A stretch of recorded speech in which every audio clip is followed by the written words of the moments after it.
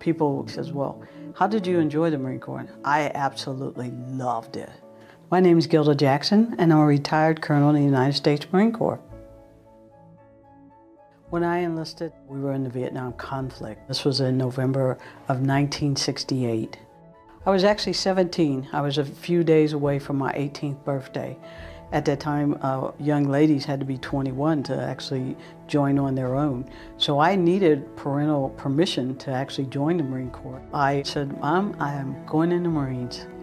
Well, I was kind of sad because I didn't want her to go and leave me, but I had no other choice but to let her go.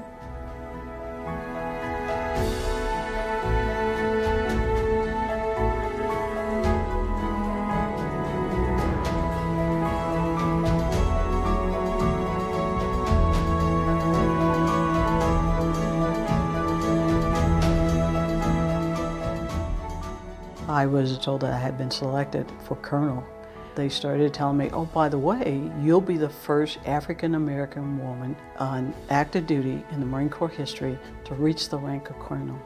Well, I know she was going to be colonel sooner or later because she always was a hard worker, training, going to school, warfare college, and all that other stuff. I knew she's going to make it.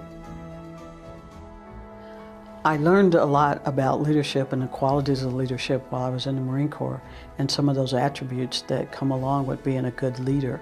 And I took those leadership attributes and applied them to my job today as a civilian. I am the president and general manager of Lockheed Martin Aero Parts Incorporated. We are a wholly owned subsidiary of the Lockheed Martin Corporation.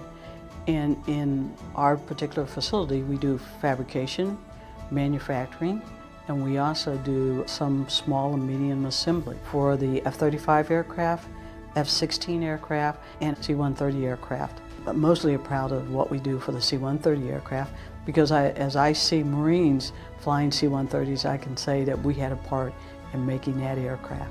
There have been a lot of changes, and I think they're changes for the good because a lot of our young Marines, especially our female Marines, they want to be known as Marines and it's important. And what's also important is that if that first person is out there and they're successful at it, everyone behind them has that same opportunity, or everyone behind them says, hey, I can do that.